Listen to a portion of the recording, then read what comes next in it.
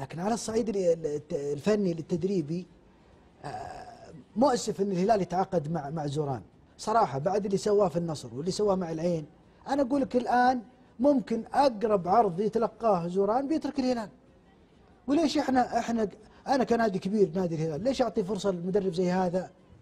إنه يت- يترك نادي آه، كبير مثل العين بهذه الطريقة ويخل بعقده علشان يجي بسبب عرض أفضل. ليش؟ ترى فعلا شيء شيء مؤسف. قلت.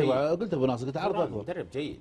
عرض أفضل. عرض افضل أثناء سريان عقده أنا أقصد يعني يكمل ما عقده. يحترم عقده يعني. ما يحترم عقده. المدرب ما يحترم عقد الآخرين ما راح يحترمك اليوم. لكن لكن الظروف حتى فيصل بن تركي ترى. ذيك الأيام ترى تعرض لانتقادات عنيفة. ليش؟ آه، آه، ما جدد مع زوران وليش آه، اقيل الظروف الظروف اللي مر فيها زوران مع نادي النصر تختلف تماما عن الظروف اللي مر فيها مع نادي العين لا مطالبات بانه ما يمشي. وكان يقول المدرب أنا ما قدرت أبقيه. والله ما كنا نصدق هذيك الأيام للأمانة.